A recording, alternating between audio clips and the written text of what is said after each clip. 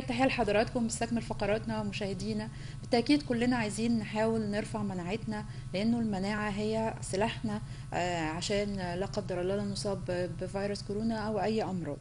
المشكلة أن بدأ يظهر على وسائل التواصل الاجتماعي آه، بعد بروتوكولات العلاج اللي الوزارة وزارة الصحة طلعت نفت علاقتها بيها أو إن هي دي اللي بيتم التعامل آه، فيها آه، داخل المستشفيات مع آه، الحالات المصابة بكورونا.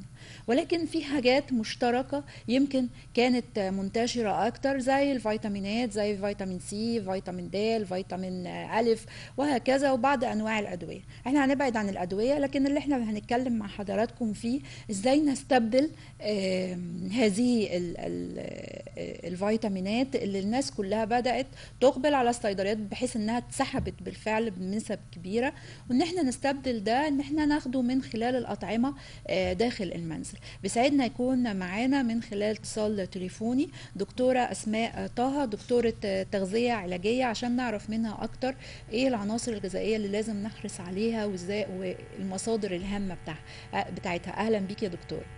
أهلا بحضرتك يا استاذه نهى واهلا بالساده المشاهدين. كل سنة وحضرتك طيبة ويمكن يعني آه، آه، حاجات كتير بقى سمعنا عنها في آه، الزنك. فيتامين آه، جيم آه، دال آه، وهكذا.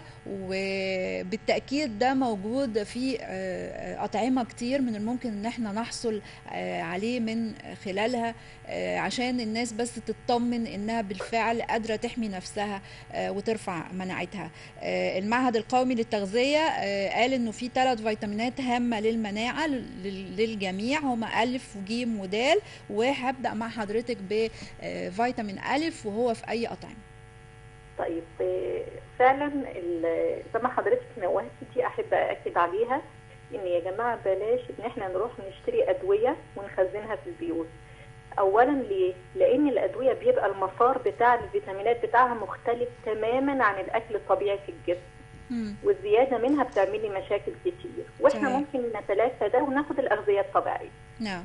بالنسبة بقى الفيتامين أ والفيتامين سي ودال هي فعلا بتقوي وبتعزز الجهاز المناعي بترفع الكفاءة بتاعته.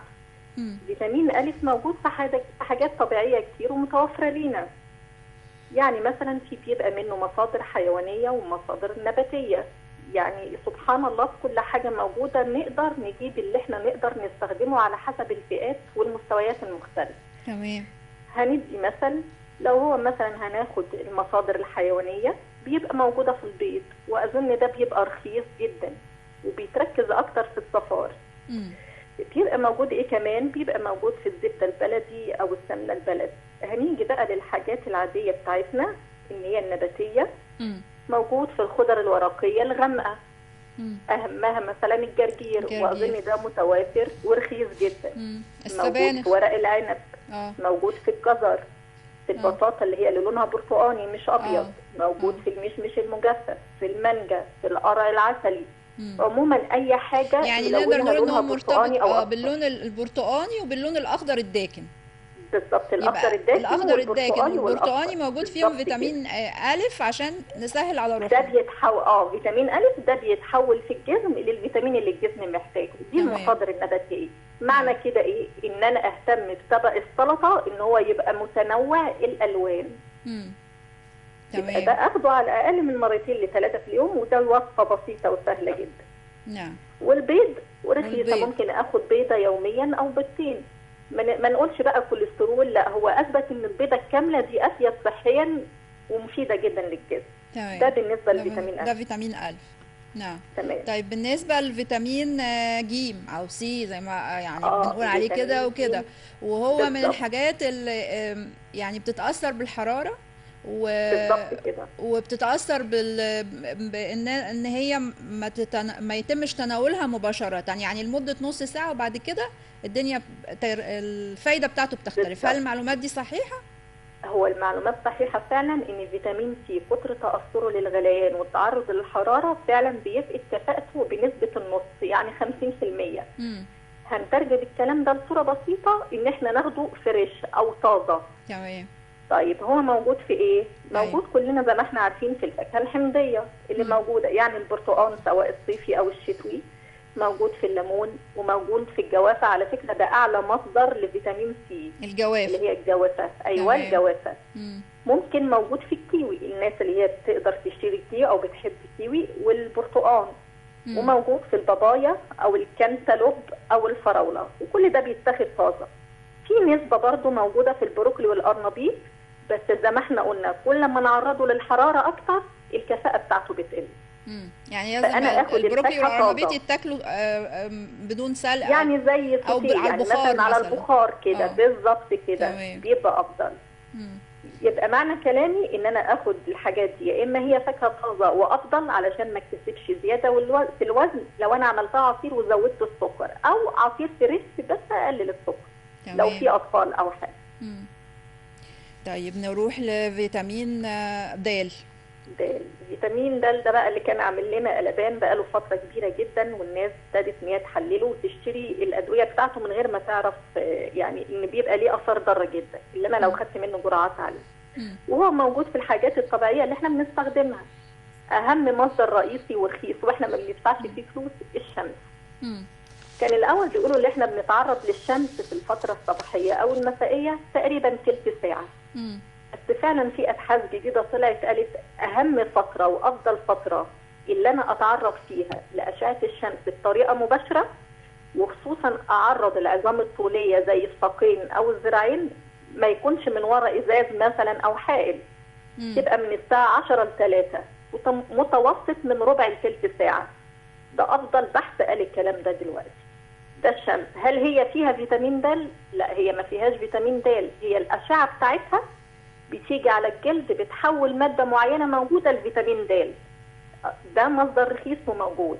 في تاني مصادر غذائية اللي هنتكلم عليها موجود. موجود زي ما إحنا قلنا برضو في صفار البيض نسبة كويسة من فيتامين د. موجود في الأسماك الدهنية اللي هي المستوردة اللي إحنا بنقول مثلا ما فيهاش فايدة وبناخد الأسماك الطازة. بالعكس هي فيها مفيده جدا في فيتامين د والأحماض الدهنية المفيدة ممكن نكون سمعنا عنها اللي هي أوميجا 3 تمام. زي إيه؟ زي السلمون زي التونة. وممكن دي تكون غالية للناس كتير قوي ما أقدرش أشتريها. ففي حاجات ثانية موجودة. الماكريل أظن ده موجود ورخيص وكويس مم. بس أعمله إزاي؟ أعمله صينية علشان الدهون المفيدة اللي فيه لما تنزل تنزل على الخضار اللي موجود فيه أستفاد بيها. وفي برضه موجود الرنجة مش الرنجة المدخنة اللي هي بتاعت شم النسيم لا سمك الرنجة نفسه. آه. ده بيتباع برضه أعمله بالطريقة اللي أنا بعمل بيها الماكريل. موجود بنسبة قليلة في اللبن بس كامل الدسم. يعني لازم يبقى كامل الدسم. تمام. آه أيوه كامل الدسم بس بنسبة قليلة شوية. لكن دي المصادر الأساسية بتاعته اللي هي الأسماك الدهنية. ويفضل اللي أنا اخدها على الأقل مرتين في الأسبوع مفيدة للقلب والصحة العامة. وابتدي. أعود وادخل الثقافة دي للأطفال علشان تقريبا المستهلك من الأسماك ابتدى يقل مرة في الشهر أو أقل من الشهر لكن. الافيد أخده من مرة لمرتين في الأسبوع. بالطريقة اللي قلت. لكم عليها أيوه طيب سمعنا عن الزنك يا دكتور هل في مصادر أطعمة موجود فيها الزنك؟ بالظبط الزنك موجود فيه نسبة لا بأس بها في المكسرات وأبسطها اللي هي الفول السوداني أو اللب السوري أو السمسم ومرتبط بيه الكلب والزنك موجود طبيعي بنسبة كبيرة بيبقى مرتبط بالحديد. يعني الحديد موجود في إيه؟ موجود في اللحمة في الكبدة موجود في, ال- في بعض نسبة من الأسماك بيبقى مرتبط بيها الزنك.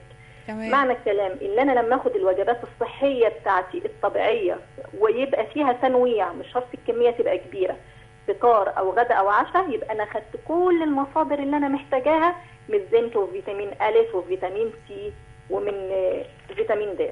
فكرة إن أنا بشتري ال- الأدوية اللي بدأ يتم تداولها وباخد بدون ال- ال- التوقف عند حالتي الصحية أو إيه اللي ينفع ليا وما ينفعش. بالظبط كده. هي الناس دلوقتي تقريبا في حالة هلع أو فوبيا وبيشوفوا الوصفات الكتيرة اللي بتبقى موجودة على النت ففعلا في أدوية ما بقتش موجودة في الصيدليات. بس غلط هم كده بيضروا فعلا نفسهم جدا وبيعمل مشاكل كتيرة قوي. فكل حاجة موجودة في الطبيعة. أهم حاجة شرب المية كويس. التغذية السليمة أهتم بالخضار الطازة والفاكهة الطازة وما اخدش أزيد من احتياجاتي. واتعرض للشمس بالطريقة المناسبة اللي إحنا قلنا عليها. كده إن شاء الله بإذن الله هيبقى فيه وقاية كويسة وهيبقى فيه تغذية سليمة وبعزز وبدعم الجهاز المناعي إن شاء الله. اللبن اللبن اللبن. دوره إيه يا دكتورة في الفترة دي؟ الإيه؟ اللبن وخاصة إن هو المفروض مصدر لل- للكالسيوم. آه اللبن مصدر مفيد جدا للكالسيوم والتوصيات بنقول. على الأقل كوبايتين في اليوم.